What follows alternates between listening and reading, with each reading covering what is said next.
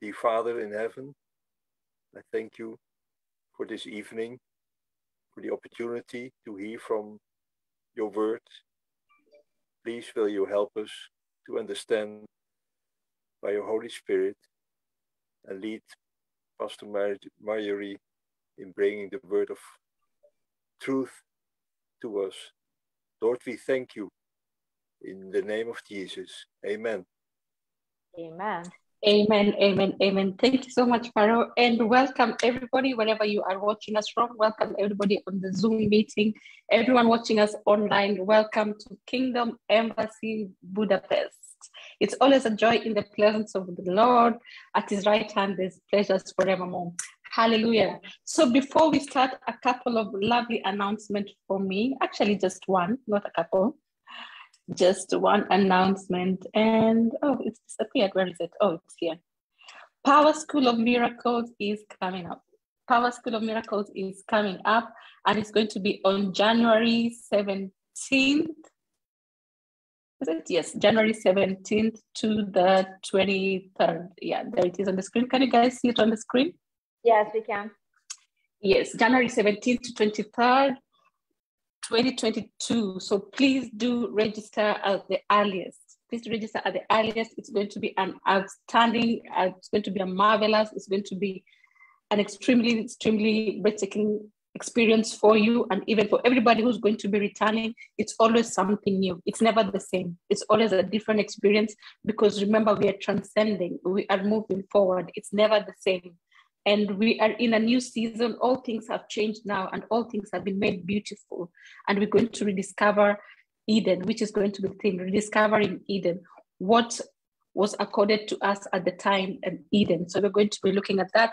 So please do join us. We'd love to see you there physically, and if not, you can always join us online as well. All right. Okay, so today we have a very exciting topic, which I really, really, really love because I've always lived by this. Amen. So we'll be talking about excellence and protocol in the kingdom of God. We're talking about excellence and protocol in the kingdom of God. So, okay, let me just confirm we don't have any Hungarian speakers, so there's no need for translation, right, Reka?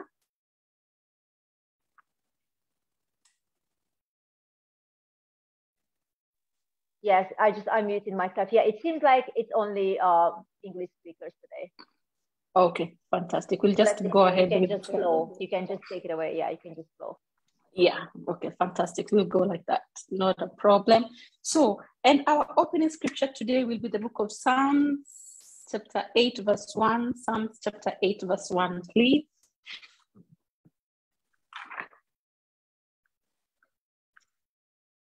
Psalms 8, verse 1.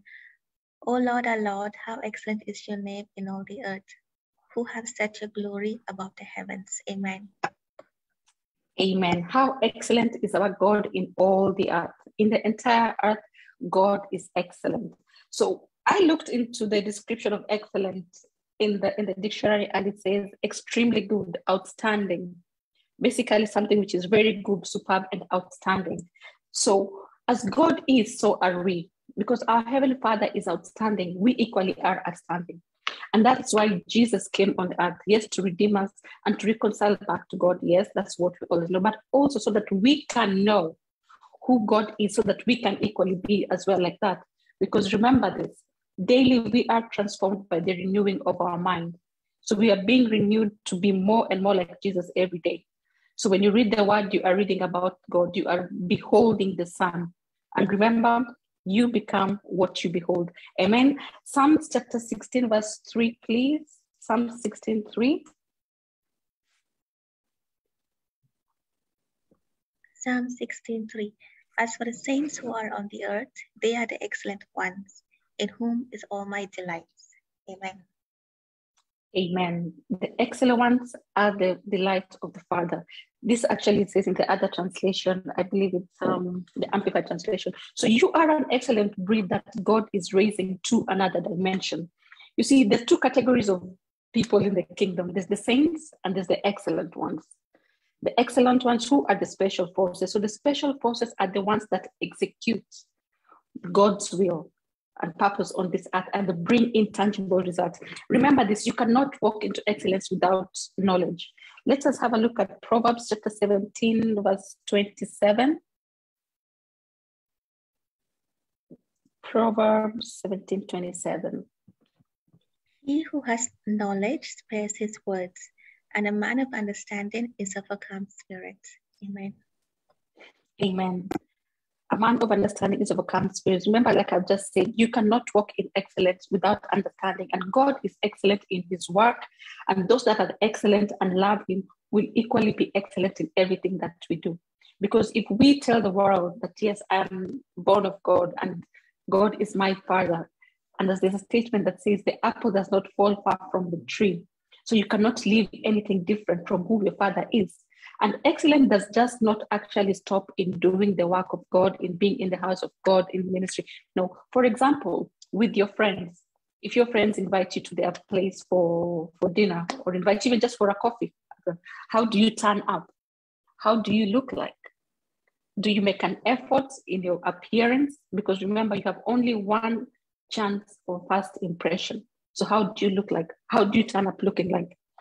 At work, are you always on time at work?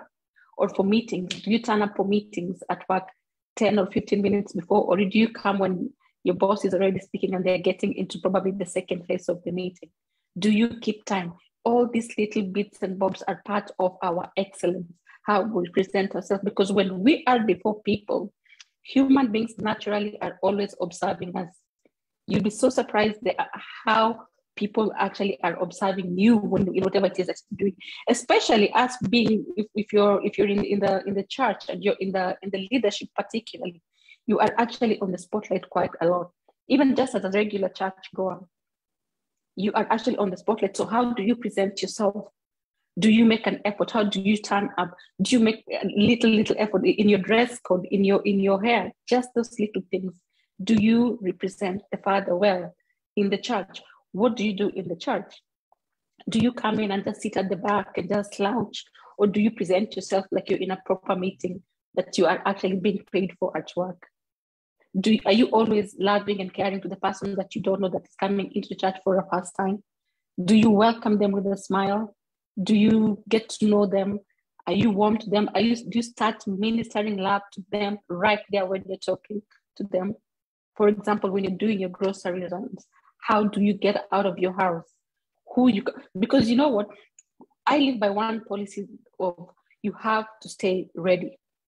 You have to stay ready. The same way god's blessings will always come to you at any time and you have to be ready to receive them. It's the same way you need to be ready to do what god has called you to do. Remember we are the excellent ones the special forces.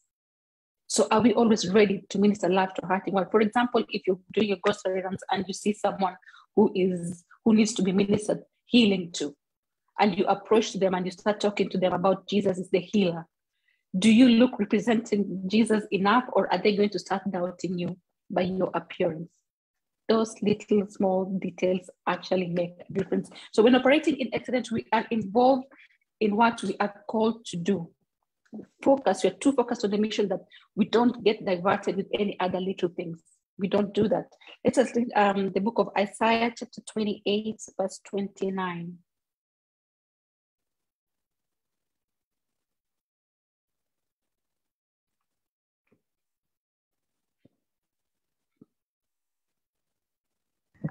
Isaiah 28, 29.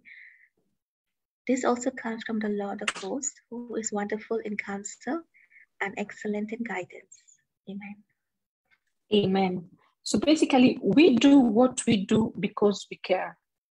We're not just doing it just for the sake of just doing it and getting by. No, we do what we do because we care. Highlight your actions. Let what you do stand out with excellence. Be like Daniel. Don't just fit in, stand out. Let whatever it is, every place that you show up to, leave it better than you found it. Let whatever, even how you speak to someone, even how you interact with them, make a difference. Stand out. Don't just fit in. Just because everybody else is doing everything the same. No. Remember, you're not everybody else. You are a creature, a different creature created in Christ Jesus. Amen. Daniel chapter 6, verse 3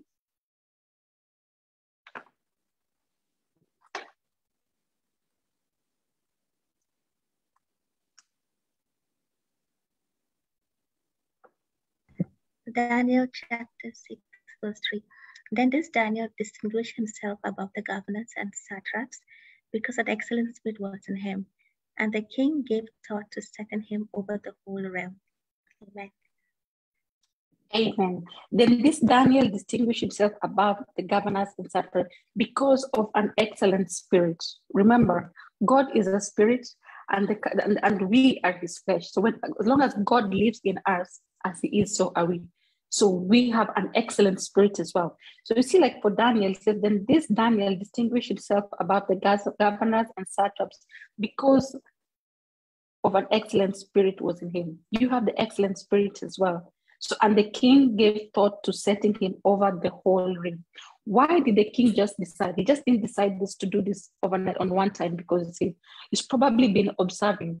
Remember this there's always someone who is always watching what we are doing. Like I said earlier, someone is always observing some, and you can be presented before greatness and you do not know. So, excellence is uh, it just cannot be acquired overnight. Success cannot be acquired overnight. It's in our daily routine. It's a habit. What do you do constantly? And the same has to be with you have to be constantly excellent because excellence will draw greatness to you. You see, like for Daniel, the king gave thought to setting him over the whole ring because they knew they can't trust him. They knew, and because this is the king, remember, so the king definitely have a lot of opulence and wealth. They need to be represented well, and they trusted that Daniel can actually do that. Amen. Because there's always a better version of you whenever you are operating in excellence. So say no to mediocrity. Do not allow mediocrity in your life at any cost, no matter what it is. Say no to mediocrity because if you play around with mediocrity and accept mediocrity, then success is going to be a rumor to you. You will never get near to it because you're playing around with mediocrity. Amen. So the way of excellence is love. People that love what they do are excellent, and love is the highlight of excellence. I'll repeat that again. People that love what they do are excellent because love is the highlight of excellence because they are putting every single detail, every single thought in what they're doing because it's not about only about them. It's like, let's say, for example, when you're sitting in the presence of your colleagues, your subordinates, or, or even in the ministry, how are those people seeing you? How are you presenting yourself? What do you want to be remembered for? Amen. Let us look Philippians chapter 1, verse 10. Philippians 1 10. Did I write it correctly? Yes. Uh, Philippians 1 10. That you may approve the things that are excellent, that you may be sincere and without offense to the day of Christ. Amen. Amen. That you may approve the things that are excellent, that you may be sincere and without offense. This offense here is being talked about when we are sincere to people. Let's say, for example, in the leadership, we have to be sincere to people and correct them with love. You see, the excellent ones, regardless of what sphere of authority, regardless of what rank you are, the excellent ones welcome correction because they take it as a way for them to develop and become better. The only competition we have is the version of yourself which was yesterday. So every day is supposed to be different from who you were the previous day. So correction is welcome because it helps them to advance. It helps them to enhance what they are called to do because excellence demands an excellent gift. It has to be excellent throughout. And so you have to give your best. Give your best, not just the rest of what I have give your best, shine, stand out. Make sure that whatever it is you're doing is actually representing your Father. Our opening base scripture clearly says, How excellent is our God in all the earth. We are God's representatives here on earth. So wherever we are going into the world, we are actually interpreting God to the world. So how are we live streaming Him, as Apostle Charles will always say? How are we live streaming God to the world? Are we excellent or are we mediocre? And I can tell you for sure uh, God is not a mediocre God, not at all. Amen. So I'm going to give you a couple of key. How many takeaways are there? One, two, three, four, five, six. Six key takeaways about the excellent ones. So write this down. The excellent ones are the ones that get the results the Father wants. Because the excellent ones are the delight of the Father, we get the results that the Father wants. And how do we do that? Because we know the will of the Father We are one with him as he's one with Jesus, and Jesus is in us, and we're all seated in the heavenly places with him. So we know what results are expected. Amen. Point number two the excellent ones do not debate, they execute. I'll say that again. The excellent ones do not debate, they execute. We are special forces. We don't debate, we execute. If anything, because we, we always work in teams as special forces, if there's anything or, or even a discrepancy in, um, in opinions or maybe something like that, we find the best solution and execute. There's no debating in there because we want to know one thing. And remember this nobody is better than anybody else. When God looks at us, He looks at each and every one of us as a born again child of God. He looks at us because one price was paid for all of us, the blood of Jesus. So he looks at us through the blood of Jesus. So whichever teams you are working in, remember to look at your the people you are working in and whatever family you're in, look at them with the eyes of God. Look at them with the eyes of God because as He is, so are you. He lives inside of you, and this is what is expected of you. Amen. Point number three the excellent ones are the ones that realize they are the righteousness of God. The excellent ones are the ones that realize they are the righteousness of God. Righteousness, we cannot work for it, it's already been given to us as a free gift. Mom taught a very lovely message last Sunday about divas and being divine. Absolutely beautiful message. The excellent ones, so I'm going to coin this with mom's message last Sunday. The excellent ones are divine because we have we serve a divine God, we have a divine being, we have divine presence in us, and they're not divas. Divas have want all their attention on themselves and think everything is all by their strength. No. We are the righteousness of God through Christ Jesus. We are the divine of the Lord. Amen. Point number, is it five or three? Four. Okay. The excellent ones are called lovers of God because God is love we love him as well because love radiates in us. And we are ministering love to heart well because love radiates in us and through us. Because it's already, this is part of our DNA. God is love. And so we, us being lovers of God, we love him because he has taught us to love him as well because he first loved us and demonstrated his love. There's no way better I can explain how God demonstrated his love than on Calvary. That is pure demonstration of love when Jesus went there because he wanted to redeem us and bring us back to Him. Amen. Last point, number five the excellent ones are the ones that are walking in understanding, as we have read it previously in the, in the book of Proverbs, chapter 17, verse 27, because you are excellent and you are walking in understanding. Amen. So now we get to, into the second bit of our teaching today, which is protocol. Protocol. Something which is very much overlooked in the kingdom of God is protocol. Because everybody has gift, everybody has talent, everybody has mentors, everybody has tutors. We come into the presence in the church, we're all together, but protocol is always always overlooked. But the sad thing is in the marketplace, protocol is followed without a problem, without a reason. Why? Because the mindset at the back of the head, someone is thinking, okay, I'm being paid, so I have I cannot suffer to lose my job. So there's protocol in here. But what about in the kingdom of God? Protocol is very important as well. So in the kingdom of God, He has placed us under tutors and governors who are going to train us, guide us, empower us, lead us in all this.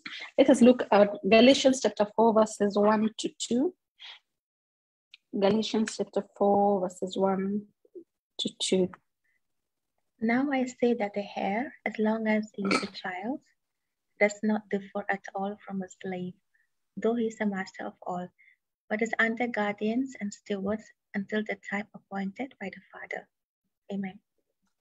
Amen. The heir, as long as he is a child, does not differ from a slave. Basically, a child here means that you have not navigated from the seasons of the world because ch- childhood is not co- considered by how old you are in the kingdom. No it is not by chronological age. It is have you navigated through the seasons of the world and put away the childish things to think that it's all about you? Have you stopped wearing your heart on the sleeves Have you started making decisions which at the end result is for you are the excellence of the Father and his delight to get the godly results? Amen. So it is now our responsibility to honor the guardians and tutors that we are placed under. Because let's look at honor. What is honor? Honor is our willingness to reward somebody for the distinct difference that we notice in them. So when we are placed under tutors and, and, and guardians in the kingdom, we need to honor the difference that they have because they have a distinct difference. There's a distinct difference between them because they've been probably in the ministry a little bit longer than us. So we need to honor that. And because honor is a choice and it's one of the most important laws of the earth, you have to constantly make a choice to honor the person because definitely when you're presented before great men and women of God, people who have gone ahead before you, people who have actually solved problems which you're yet to solve, there is a difference you're going to notice in them. So let us look at Ephesians 6 1 to verses 1 to 3.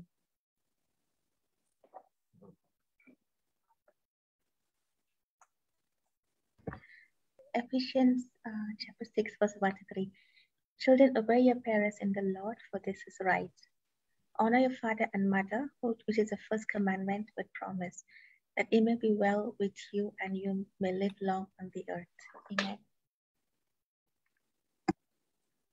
Amen. That it may be well with you and you may live long in the earth. I'll just uh, read that verse again, verse 6. Yeah. Scrambling through it. Yeah. Honor your father and mother. See, honor is big emphasized here.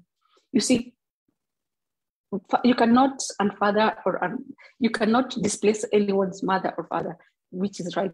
But who are our, our, parents in Christ? I like to read it in the Amplified Version. I believe I, I read it very differently in the Amplified Version. Yes, and it says, Children, obey your parents in the Lord. That is, accept their guidance and discipline as his representatives. Because our parents are, are, are his representatives. For this is right for obedience teaches wisdom and self discipline. Verse 2 Honor, esteem, value as precious your father and mother, and be respectful to them. This is the first commandment with a promise. Remember, first commandment with a promise. And what is the promise? So that it may be well with you and that you may have long life on the earth. Because you can be living a long life on the earth, but it's not going well with you. You are not fruitful, you are just going around and around cycles, but you have long life. But as the word of God says here, honor your parent, honor your father and mother that it may be well with you. Being around great people is not a guarantee that you can become successful. Applying the law of honor is what can actually help you through that. Because in every season in your life, you have to plant the seed of honor and you will be rewarded for it. And in every season of your life, whenever you get to, God always divinely places someone who's going to walk you through that season to your next. That is standard. Second Corinthians chapter 4, verse 7. Second Corinthians 4, verse 7.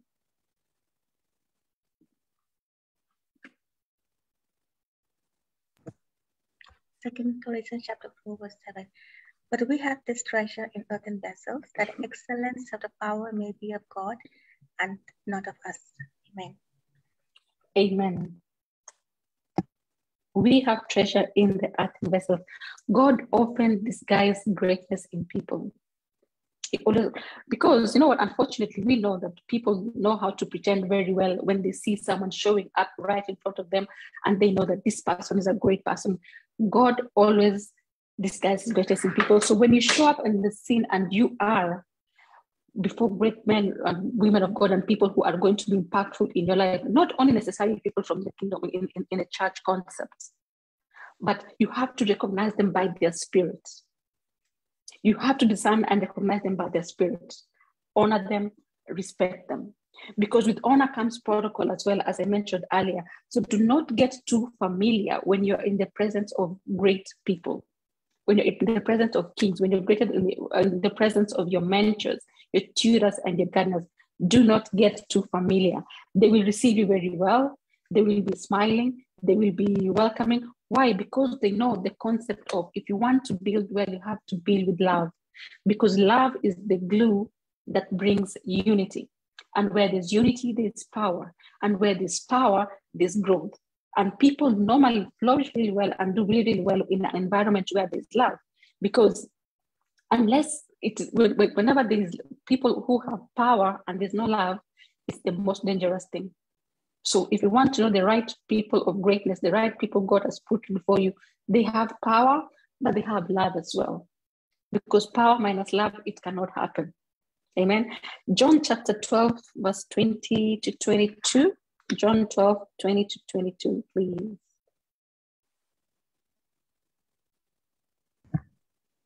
John 12, 20 to 22. Now there is now there were certain Greeks among those who came up to worship at the feast.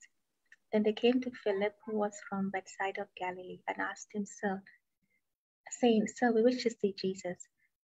Philip came and told Andrew, and Andrew in turn, sorry, Philip came and told Andrew, and in turn, Andrew and Philip told Jesus. Amen. Amen. You see, here we can clearly see the protocol these Greeks who came to worship at the feast, they wanted to see Jesus. But Jesus was loving. He ministered love everywhere he went.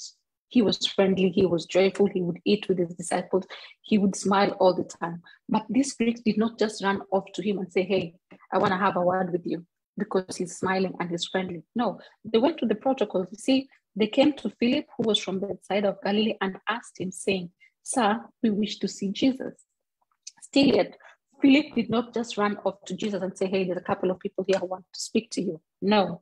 Philip came and told Andrew, and Andrew and Philip then in turn told Jesus. So, you see, there's a protocol on how you access this greatness which has been accorded unto you because there is they knew that this is a great person this there's greatness right here so they the son they knew him by the spirit and so they went to the right protocol that shows respect, that shows honor. Amen. Write this down. Honor promotes and honor will give you access. Honor promotes and honor will give you access. But dishonor will outrightly disqualify you. For example, if you jump over protocol, that is dishonor, and outrightly you will be disqualified. You will be disqualified, and access will be withdrawn out of you. And once access to greatness has been withdrawn out of you, this is actually where you will start struggling in life. Because if you look at it, as Apostle Charles has always said, almost every sin on the earth is a sin of dishonor. It started with dishonor at one point. So, how you treat greatness where you are, no matter what it is, even for us, like for example, even matter if we've been in the um, ministry for the longest time, we've been around our spiritual parents for the longest time, we still have to respect them and honor them just because we've been around them for the longest time does not mean now we start crossing over the protocol because we there. No, that honor and respect still stands. It still stands because the people who are coming in afterwards, they are watching as well how we are dealing and how we are respecting our, our spiritual parents, for example, in the church or even at home in our own other biological families, how we are interacting with our parents there. So if there's anyone visiting, they will see how the honor is being done. So if we cross these protocols and not start focusing on very slim, flimsy things, no, it doesn't work like that. Amen. So the six points about honor, I'd like us to write down, please. Six points about honor. So point number one, honor is a decision, a seed, and a law. Honor is a decision, a seed, and a law. It's a decision you make. And when honor, it's a seed you are planting as well for yourself. Remember what I said earlier on every season that you come into life, a new season, you're going to be presented before greatness because your life has really changed. And are you going to sow a seed of honor, which is going to constantly grant you access to greatness and for you to constantly grow? So, sow the right seed of honor. Point number two honor will bring blessings to your life. We have seen this in Ephesians chapter 6, verses 1 to 3. I'll repeat that again. Point number two honor will bring blessings to your life. Children, honor your father and mother that it may be well with you. That it may be well with you. This is your blessings from your parents. Amen.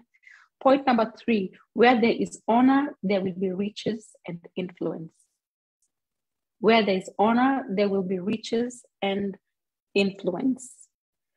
Point number four honor will remove pain in your life. Honor will remove pain in your life. As I mentioned earlier, just a, a few minutes ago, most, if not all, of the sin on this earth is the sin of dishonor. So if you dishonor and then you're disconnected from greatness, and then you're disconnected from stewardship, disconnected from guardianship, you might end up suffering a lot of pain without guidance because nobody walks on this earth without guidance, without a tutor, without a mentor. It cannot happen. And that is why God, in His sovereignty, has identified the right people that He places us under them so that we can benefit and have the riches and influence of this earth. Amen. Point number four. Sorry, point number five. Sorry. Honor will bring satisfaction in the day of famine. Honor will bring satisfaction in the day of family. Basically, you will have access to what others don't have. Case in point, Joseph. Joseph, he was the same when he was in the pit, when he was the parents, when he was the pit before he went to the palace. He always honored the people around him and he was recognized for his honor. And during the famine, he had access to what other people did not have. Number six, honor is the key to growing the church, the business, or anything. Honor is the key to growing the church, the business, or anything. And that's why in, in this family, we operate with the culture of honor. That is our culture, culture of honor. We honor our spiritual parents, we honor each other, we work around together, but we honor each other regardless of who joined the ministry first, who joined the ministry last, who joined the ministry in the middle. You know, we don't look at each other as this person is different from this person. No, we honor each other for our differences and the diversity. Because every joint supplies, everybody has got something they are bringing onto the table.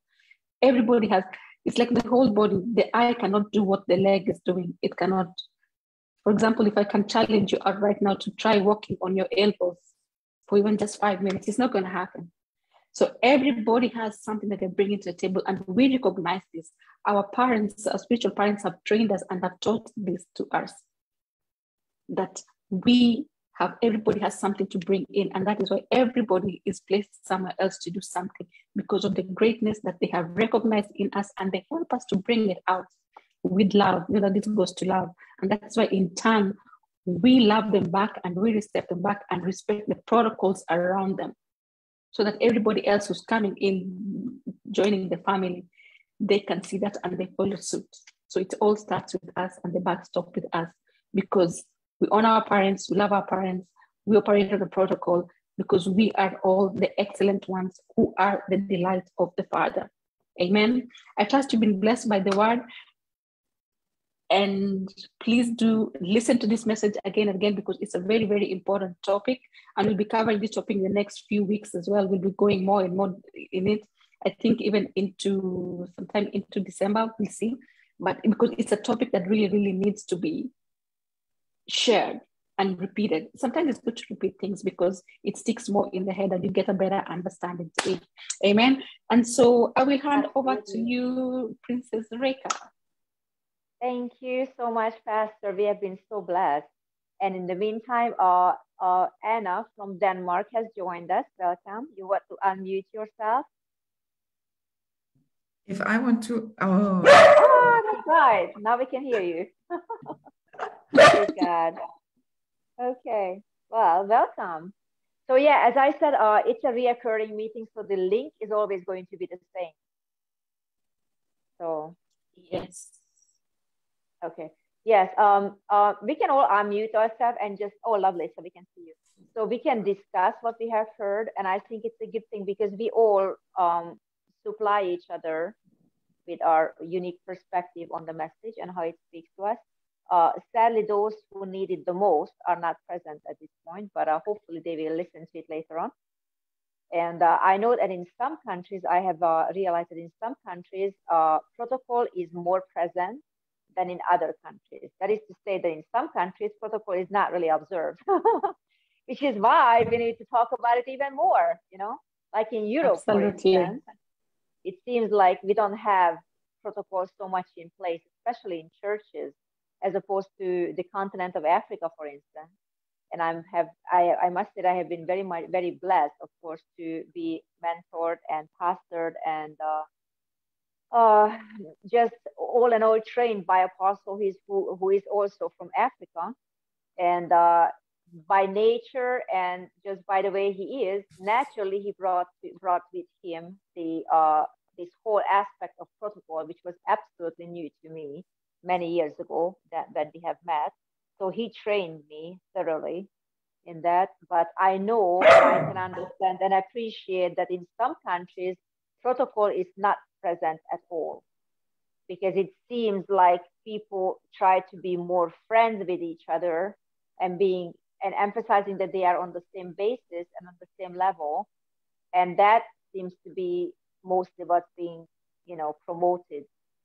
But that's not the kingdom culture. And we regardless of where we live we are representing the kingdom. And heaven is a culture of honor and kingdom is a culture of honor and that's what we are bringing into it's not a, uh, an aspect of an african culture but it is a culture of heaven. Right? So that's what some of the Christians who, who are new to this whole aspect of protocol need to understand that we are not trying to push our culture to them, but we are, are promoting the culture of heaven. And when they get to heaven, they will realize that they it's, it's all about honor. People there honor each other, regardless of where people come from. It's just like you honoring the person, you're honoring Jesus in the person. And just as Pastor Marjorie has pointed out very well, that we also honor each other by the way we present each other. Like um, uh, I have noticed that some people, when they attend to uh, meetings online, perhaps they don't really take care of their, you know, their appearance. They don't really use makeup. They don't really use, you know, any kind of uh, accessories or whatever. And it's all good and well, but they need to understand that they represent the heaven where they come from. And they also represent the church they represent, they coming from, and the ministry they coming from. And ultimately, they, of course, represent themselves. So each of us don't roll out of the bed, as uh, Pastor Marjorie and I discussed earlier this week on the telephone. We don't we don't roll out of bed, you know, with makeup and the perfect hair and all. But all these things are aspects of our our appreciation to show to the viewers and to each other. And it's not a worldly thing, but it's rather an honor thing. So the way you present yourself, as Pastor Marjorie just said, is the way people will receive you. And you don't have too many first chances. In fact, first chances by default is one by nature. And uh, mm-hmm. you will have one chance to make the first impression. And it, once you make that first impression for better or for worse it's very very hard to turn this around in the minds of people. Because we all tend to uh, subconsciously judge each other by our appearance. So even before you utter the first word that may be good or bad people immediately have a mental picture about you. That of, of course evokes an emotional reaction in them subconsciously within the next, within the first 10 seconds, probably, even before you even get to talk. And that will either open them for whatever you want to say or will close them subconsciously. So that's why it's so important to present yourself the way you want to be perceived. Many people are um, uh, uh, demanding respect. Well, you cannot demand respect, you earn respect. And one of the way you earn respect is the way you present yourself. Because if you don't respect yourself to present yourself properly, then how do you expect others to respect you? Does it make sense? So it's one of the things yeah. that we teach that it's so important to to pay attention to even the little details, you know, your background, your, you know, your makeup if you're a, if you're a female, uh, you know. And one of the things that we say that sometimes people tend to overlook this because they, especially Christians, because they think this is something worldly. Well, it's not something worldly. In fact, it's very much heavenly. Jesus always looks perfect. I'm absolutely sure. And even today, he always, whenever he appears or any of his angels, they always look perfect they're not wrinkled clothes or you know unkempt or hair all over the place. But when you present yourself in such a way, people will misjudge you. You know, not everybody is mature enough to look through all that facade and say, you know what, that person may be just having a bad day. They immediately write you off. And that's not a good start. It's not a good start. Whether you are going mm. to, for a job interview or, you know, especially if you are on television or nowadays, of course, everyone's on um, social sites, social media, um, daily, in fact. And, you know, it's just important. These things are important. You think they are minuscule and nuances, but all these little details will make up the big picture that the people have about, about you. And that will very much determine whether they will trust you or not, whether they will invite you to certain events or they will not, whether they invite you to teach them or not. You can't expect someone who looks unkempt to teach on excellence. I mean, that would be just absolutely not, you know? So, you know, things like that. Amen. But then we all learn and, uh, you know, not everybody has perhaps the finesse for that when they were born because they come from a very different background, very different uh, family or even social, you know, situation. But we can all learn and we can all, all evolve. And so yes. I learn daily and I make it a point to learn daily. Uh, just the other day, I was asking Pastor Marjorie to look up uh, to let me know what setup she's using with her uh, uh Zoom because she always looks perfect. and I really admire that. Thank you. always just the perfect lies, the perfect makeup. Whether it's two o'clock in the morning, I absolutely admire her. And I, I so much admire that she put all this effort into these details because she understands how important it is. So of course, I asked her, please teach us on excellence and protocol because I can see by your appearance and by the way you talk and teach and the way you present yourself that you definitely know about excellence. You definitely know, understand very deeply protocol. So of course, she would be the first one I would ask to teach, and uh, on on this subject, definitely. And also, she's always very much on time, which I have to learn. we are all evolving. Actually, on time. But, uh, I'm being very real. I'm very being very real. yeah. You know, it's just to be honest. But um, yeah, I mean, each aspect we can all learn from each other. So, anybody would like to add something to it? I'm yielding the floor to anybody. Yes, like you say, I mean, uh, we, we, we always learn from each other, regardless of whatever it is. And um, just going back to the protocol and the consistency in the excellence, you know, a lot of times you find that this disappears, especially if people have been. I'm talking about in, in, in, the, in, the, in the ministry, if people have been in the ministry for a longer time. But there's something I've noticed with yourself, with Orin, with Pastor Lori, you guys are consistent with your excellence it's not it's it's never been lost been trained by the best we have been trained by it's, the best. yeah it's never been lost in there. So you see that's all our wonderful wonderful man of God who is always consistent and who always emphasizing how important consistency is. And it's a wonderful thing that coming from a European culture very different background I really had to adjust to his mindset to his heavenly uh, you know uh, view of things. And one of the very big parts of it, as you just mentioned, Pastor, was the aspect of protocol because I was not taught that or wasn't taught it in the church. And uh, mm-hmm. you know, as you said, it was it was kind of lost in translation for some, you know, for some reason.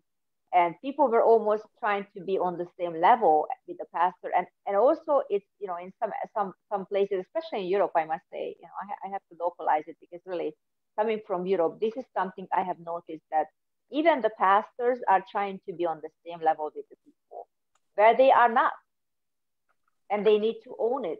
They are not on the same level. In fact, they are, the Bible says that they are in charge of our souls.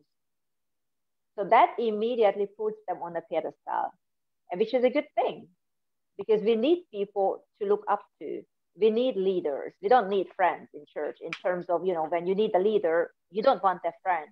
A friend is on the same level by definition, but a leader is above you. And we don't really nurture equal relationships like horizontal relationships. We have people, we have relationships who are, who are, you know, who are above us that help us. and we have relationships that we help, so they are by definition under us.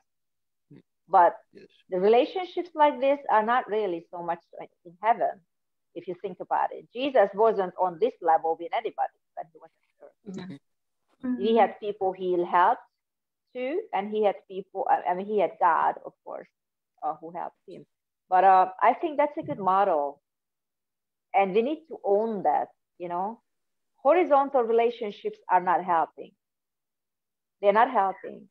Unfortunately, they're not, not all. And I like the concept of how you describe that because, see, you much better off of having more mentors than people on the same level. Yes, once in a while you can be around them, but you have to have more that of the mentors and the proteges who are below you with the learning. Once in a while you can sit down, but even when you're just sitting with the people at the same level as you are, there's really nothing you're learning there. With, with exchanging really, experiences, uh, and I understand that concept, but really, yeah. in terms of moving forward, these yeah. are not the not the relationships that help you move forward. The ones who are fooling you are the ones who are above you, and the ones you are fooling are the ones by definition below you. And that right. that is something an aspect that we don't have very much in Europe.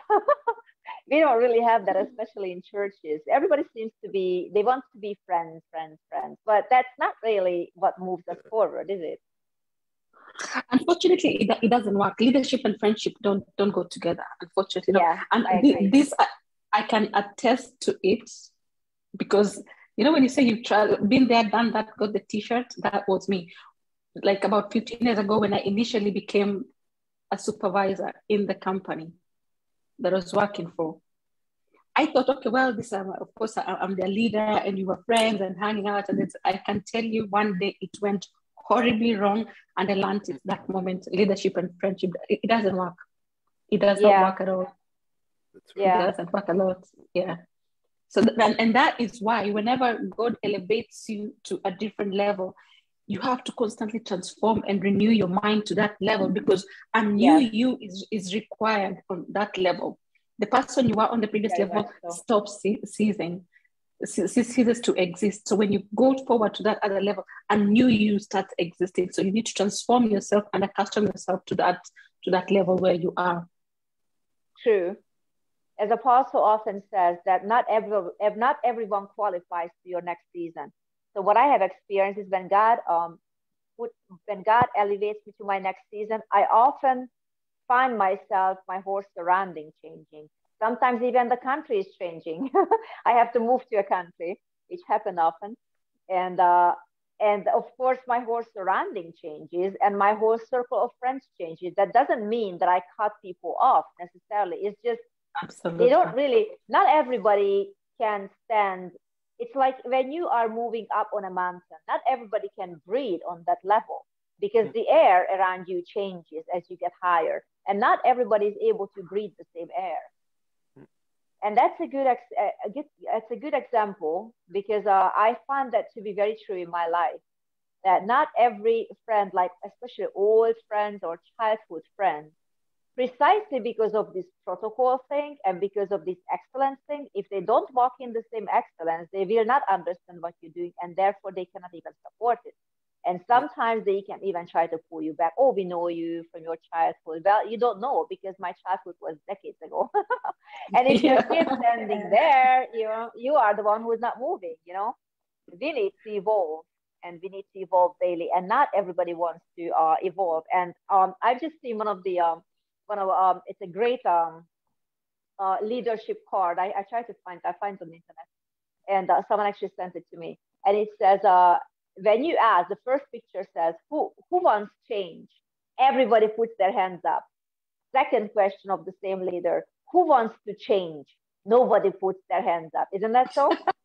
change, yeah. everybody But it comes to you and you have to actually personalize it, nobody wants to change. So, but when you're moving up, by definition, you are changing because your environment changes, the air around you changes, the scenery changes, and many don't qualify on that level and they are disqualifying themselves by their attitude especially and by their attitude in in, in connection to change If they don't want to change, they will not move forward. But the world will move forward, but they will just be, be stuck where they are. And it's their own choice.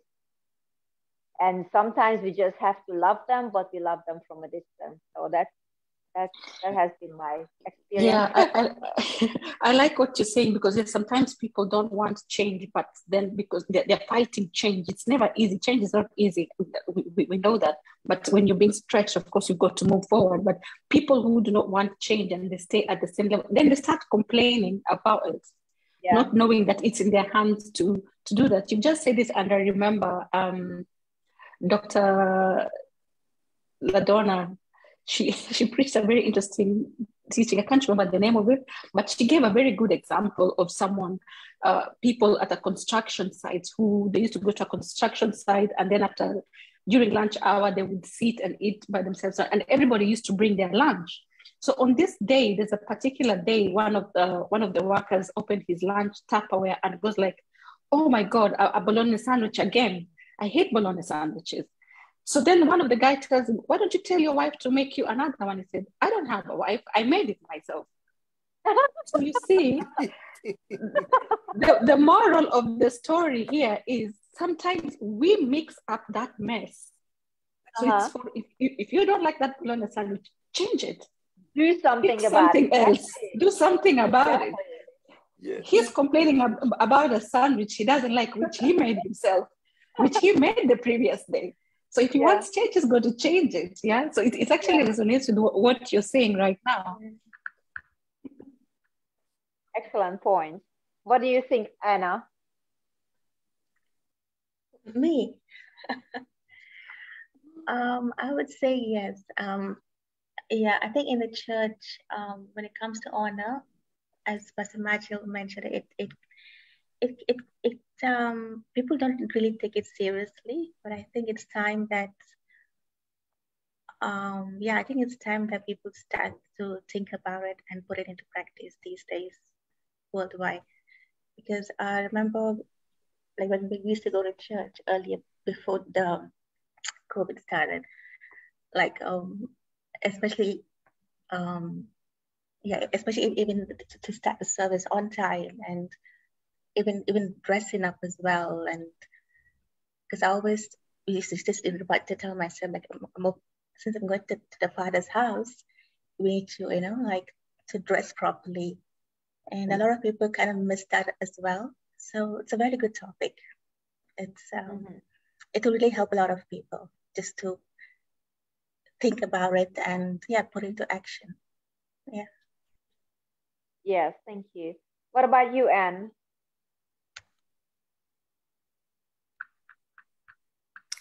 It's a good question. Regarding protocol and excellence and what your, your experience has been. Yeah. Um, I, I, I love the point that loves go beyond. And, uh, and yeah, I am, uh, I'm grown up in Europe. So um, sometimes I think that, yeah, it's important to show up. It's important how we are looking and how we are, you know, presenting ourselves. Um, sometimes there can be such a high focus on it. So, yeah. So, yeah, I'm learning. Mm.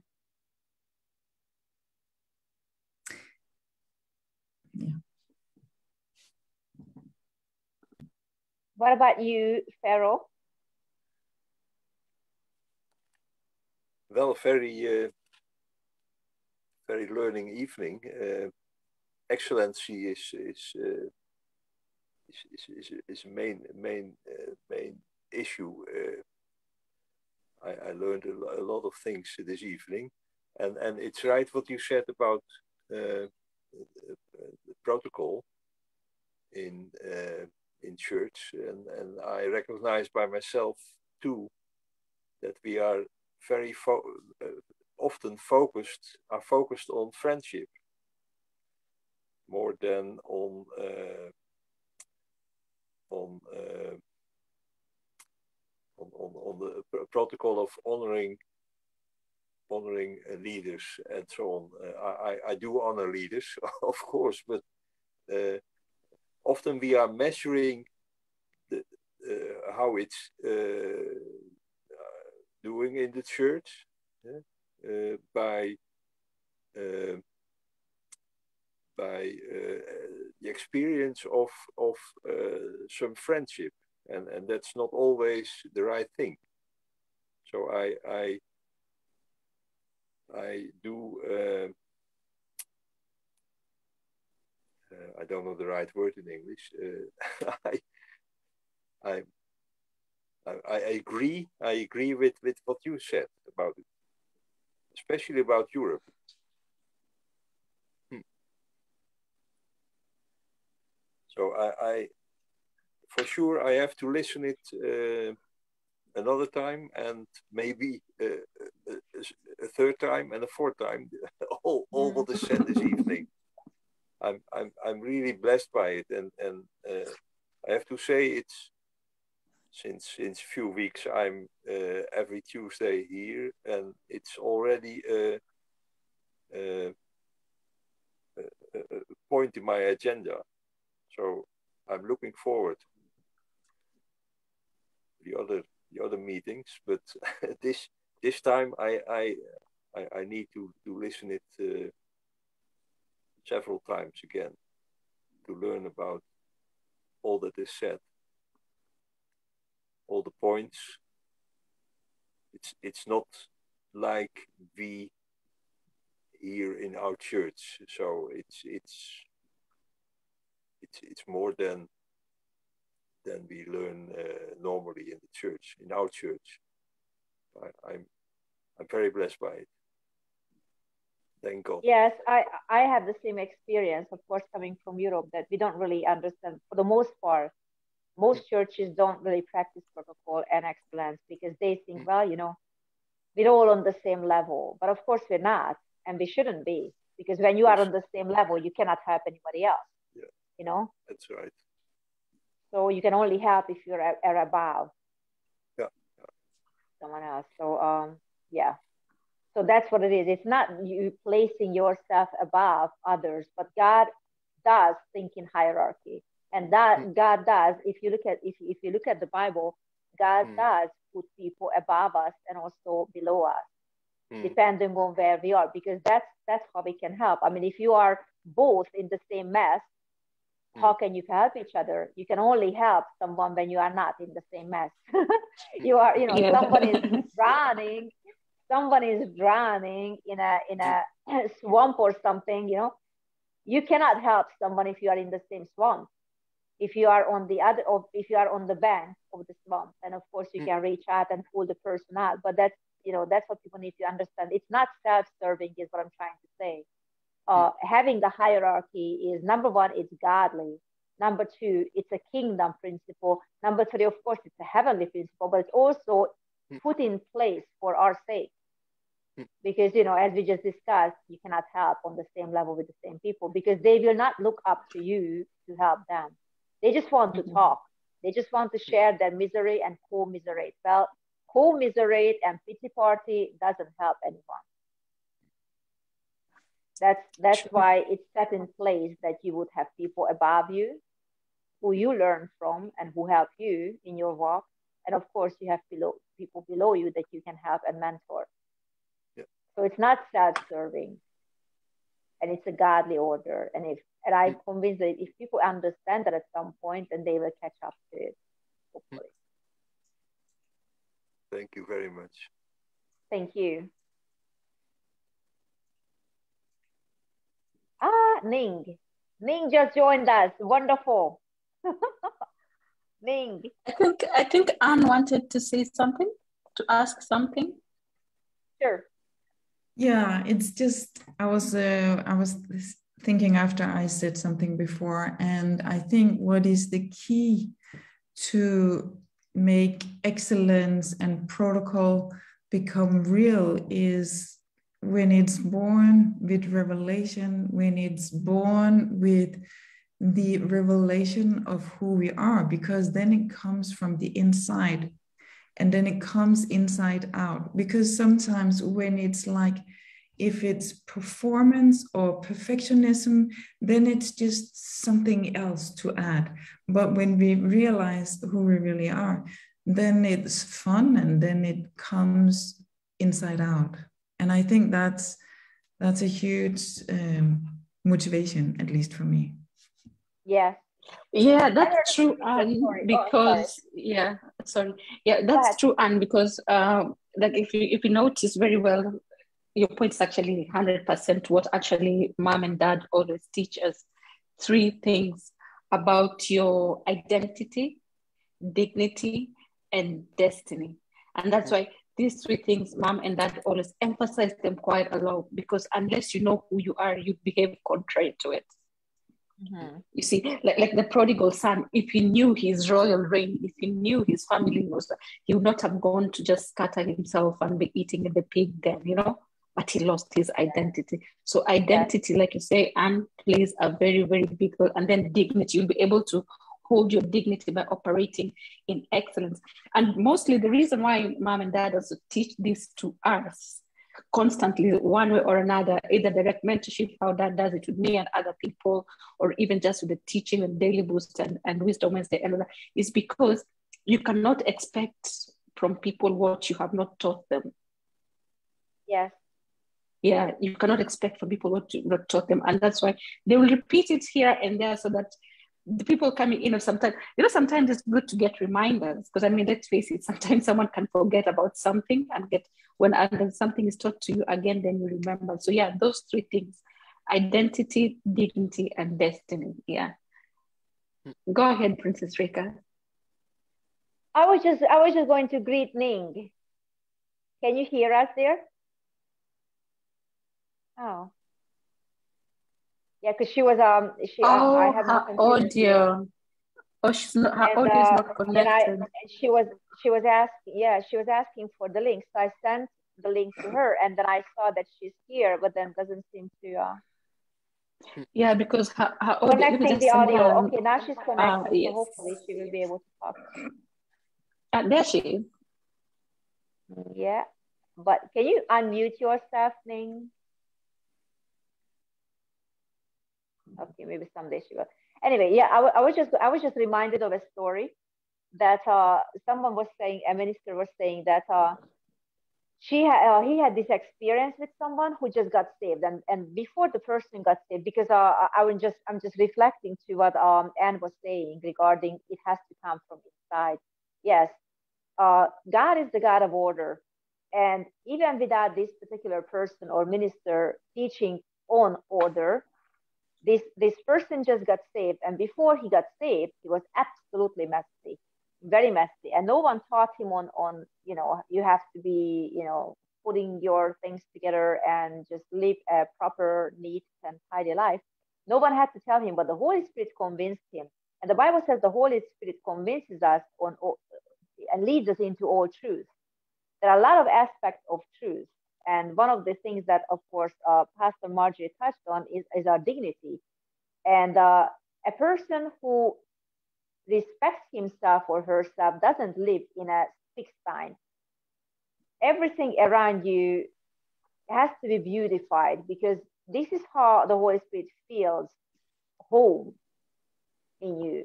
And he doesn't feel home in you if you are living in a disorderly, uh, things all over the place house.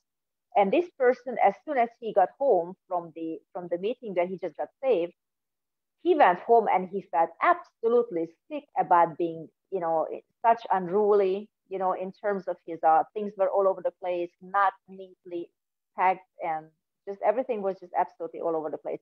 And for many years, he was living this way, and no one told him, no one confronted him on this, and he felt perfectly fine and home because that's the way he always lived.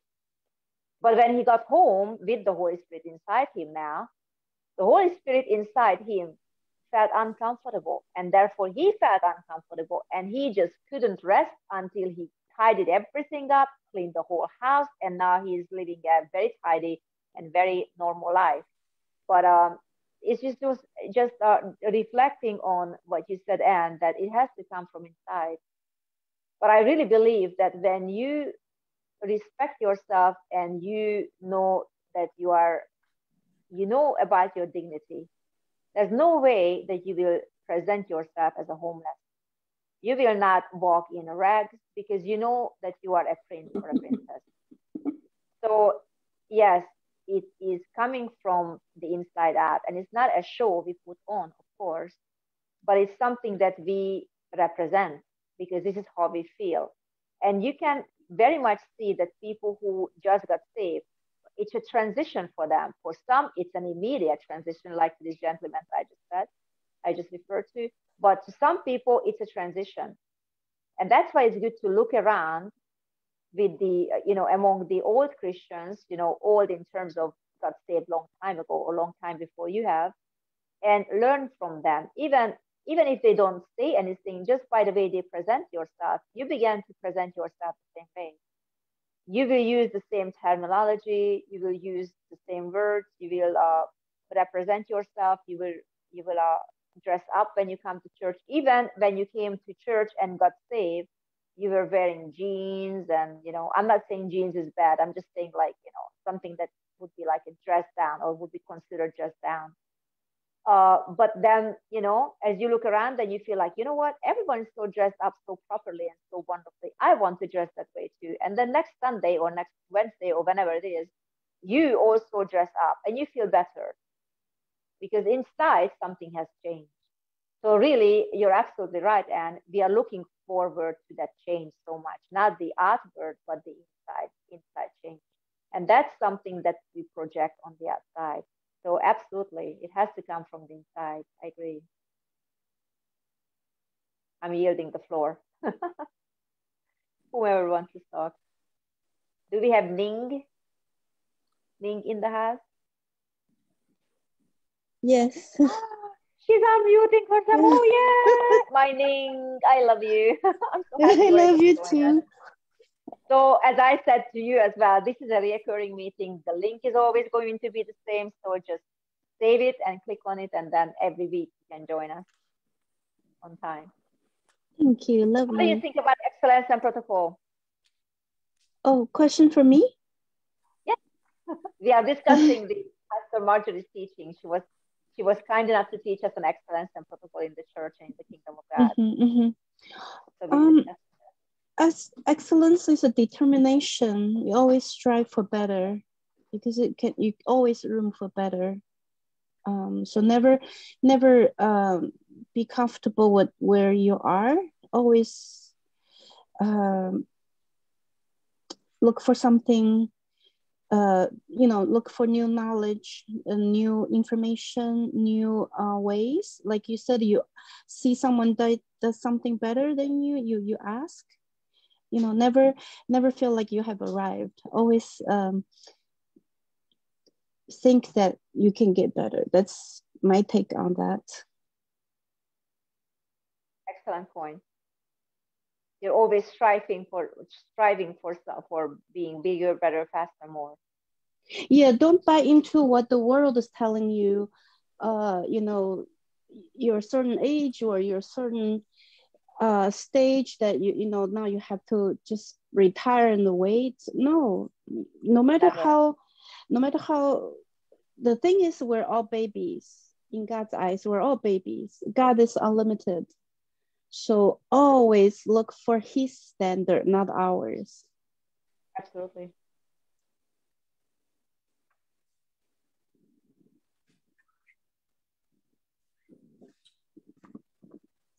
Anybody else? I'm taking notes as I speak.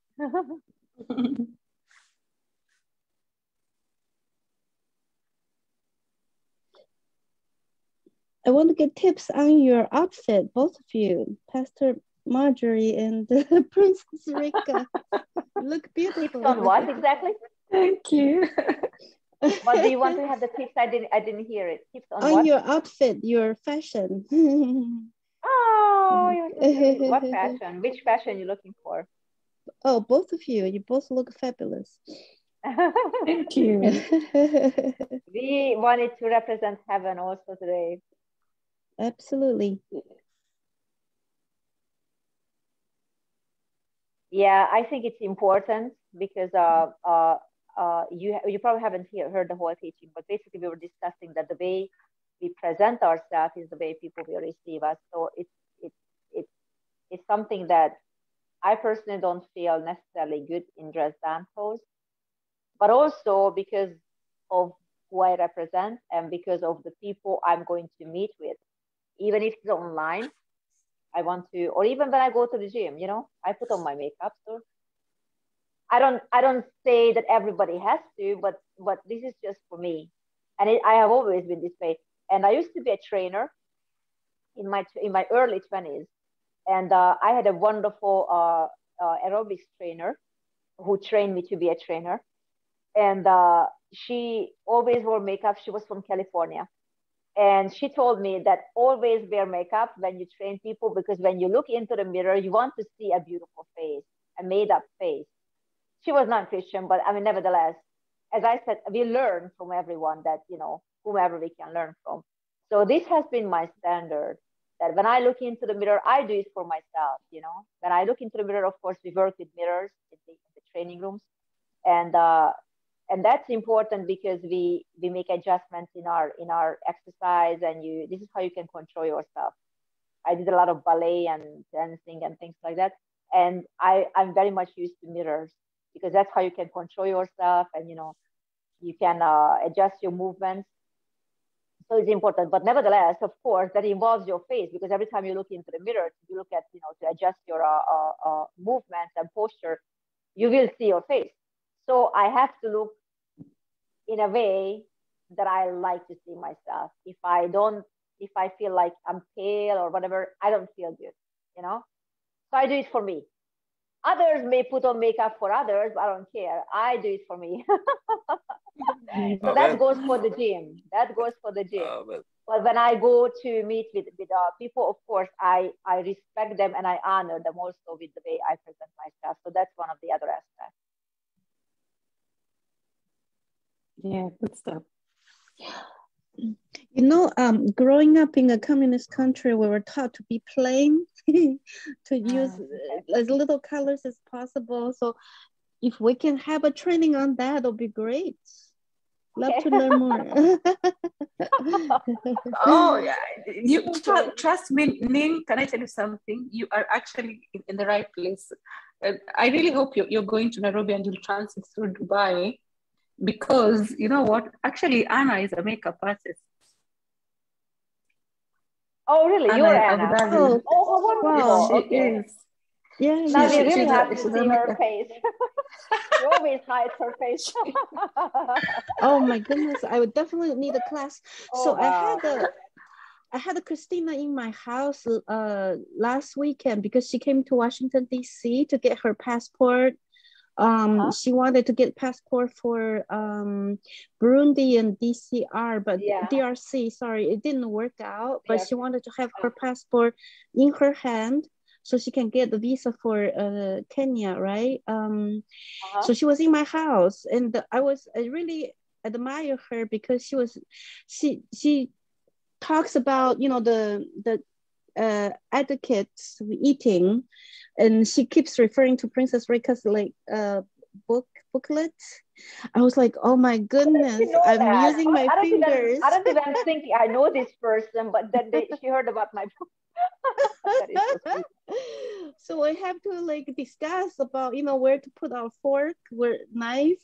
Um, I'm like I was like, oh wow, you're very conscious every single you know I, I don't even think about it. And but she said because we're going to meet a dignitary, we're going to meet you know presidents, um, uh, kings and queens. So it's necessary that we present excellence. So it's just wonderful to have, you know, uh, people, you know, the brothers and sisters remind you, you know, so you always surrounded by our atmosphere, an environment um, that reminds you to always strive for excellence. Absolutely. Yeah.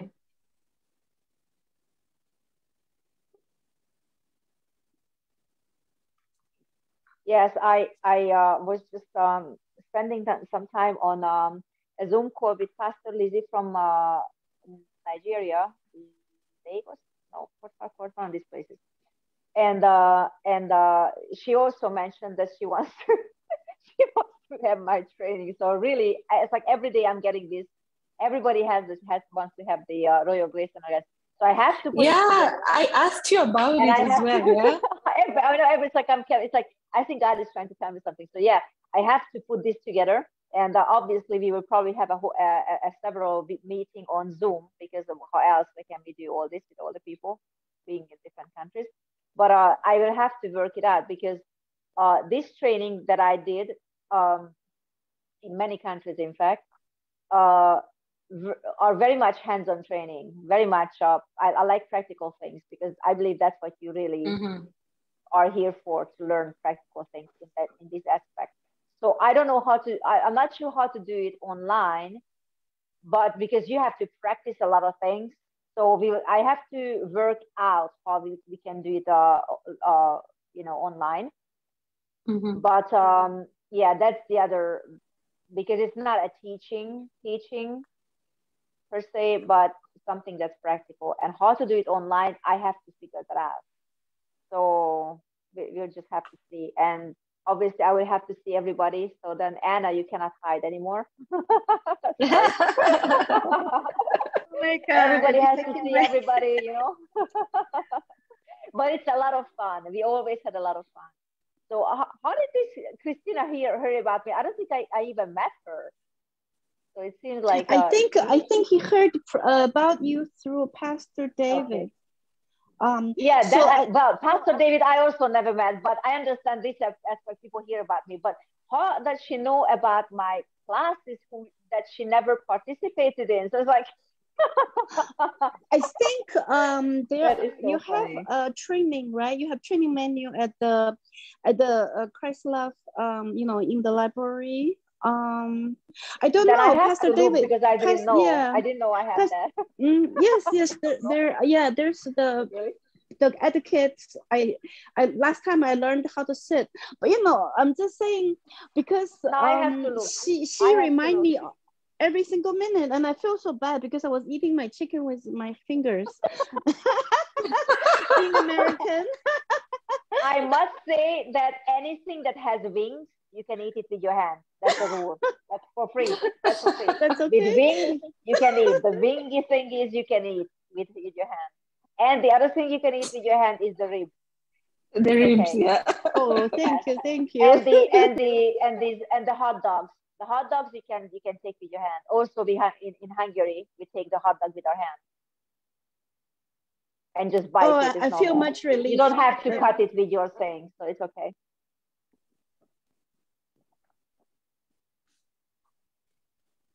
I feel very relieved. Oh.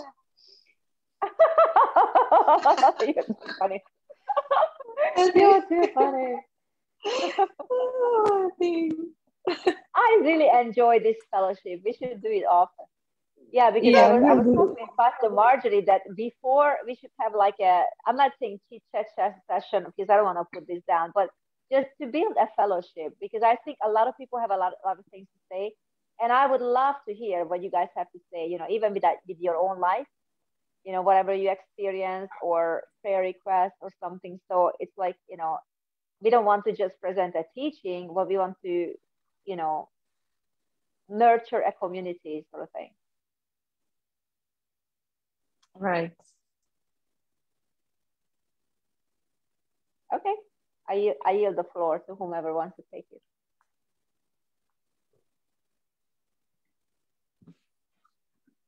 Okay, let me see if there's anybody else. I think Anna, Anna wants to say something. No, okay. I just want to ask about um, since you spoke about um, etiquette with, with food, Priscilla, what about uh, uh, when eating uh, pasta spaghetti? Do you use the because a lot of I've seen yeah when you eat a spaghetti, do you use the fork or you just you can use a spoon as well? Okay, well you can do it both ways. I it's more proper to use the you know I would have to I have to bring the cutlery. See that's what I'm saying. It's a really hands-on training. So now that we don't have it, we just kind of have to um, um, imagine. So here's the fork and here's the thing. Here's the um the spoon. Yeah, the spoon. So okay. it's more proper to do it this way. But you can also use your, your fork, just the fork. Just a fork. Okay. All right. More elegant to use both fork and spoon, but there's no rule against using only the fork. So it's okay. ah, okay. All right. Because the Italians say you have to use only the fork. So that's why I was like. Fork definitely use. Whether or not you want to use the spoon as well, that's a different story. But also, uh, Italians are not exactly known of their protocol. They just do whatever they want, and this they is want, wonderful. okay. We love them. but if you want to be very proper, then you might want to learn from the British. Okay. Or those who are expert in this. They don't have to come from Britain necessarily, but Brits are very much proper and they very much uh, in you know in tune with whatever is proper. Okay. It's All right. Thank you. Yeah. You're welcome. Okay. okay.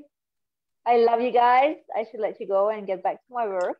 And uh, okay, what I will do, what I will do then, I will just close with the what do you call this? With a with a with a tithe and offering. Yeah.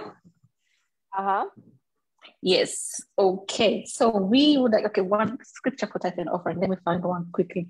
Second Corinthians chapter nine verse seven, and it says, "Each of you should give what you have decided in your heart to give, not reluctantly or under compulsion, for God loves a cheerful giver." I'll read that again. Each of you should give what you have decided in your heart to give, not reluctantly or under compulsion, for God loves a cheerful giver. Mom as well covered this a little bit during her teaching on Sunday. Like God loves a cheerful giver when you give it out of your heart, not begrudgingly, because it also helps you on the other end as well. You have that fulfilling, that that great feeling that you have done something and you have partnered with God, and it's not like something is living out of your hand. It's only going to your future as the seed that you're planting. That's why we call it seeds. Yes, our website shows donate, but it's, it's not donated just because that is what we had to work with on the website and have that donate button. But in essence, you are sowing seeds and you're partnering with God and you are partnering especially with the mission which is carrying on right now. There's been tremendous, tremendous, tremendous testimonies, miracles, leadership meetings, pastors transformed, over 500 pastors have been transformed on a great meeting today. And it's carrying on. And this was all made possible by you all online and even on the Zoom meeting, partnering together with us. So we'd like to welcome you back to again just continue partnering with us because you're partnering with God all for a good cause. And when the harvest comes in, we all enjoy it as a family. So give with a cheerful heart whatever the Holy Spirit gives and to ministers to your heart to give, not begrudgingly or under compulsion, but what you feel is right for you to do. So I will just put up the um, where is it? Yes, the paper.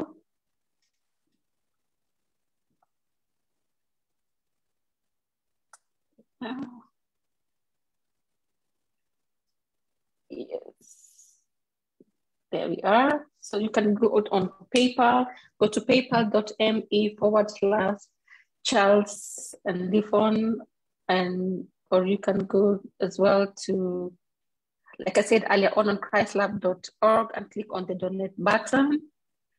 Uh, the cash app is the dollar sign Charles Ndifon.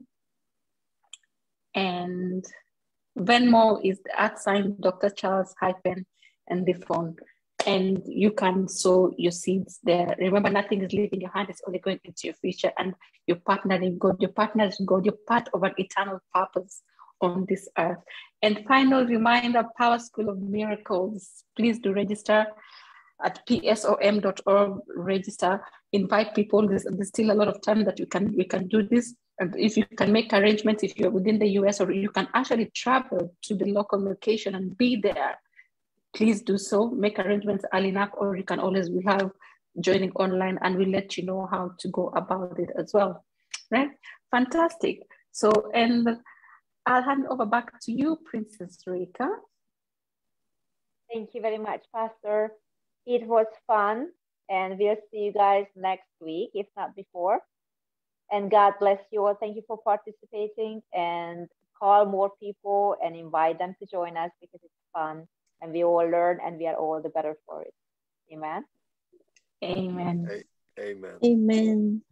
Thank you, Pastor Marjorie, for the excellent teaching. And we will be posting, of course, it on our YouTube channel as well. Thank you everyone for coming and it was great. We look forward to seeing you next Tuesday. Thank you. God bless you. Love Love you. you. Love you. Bye. Bye. Love you all. Bye bye.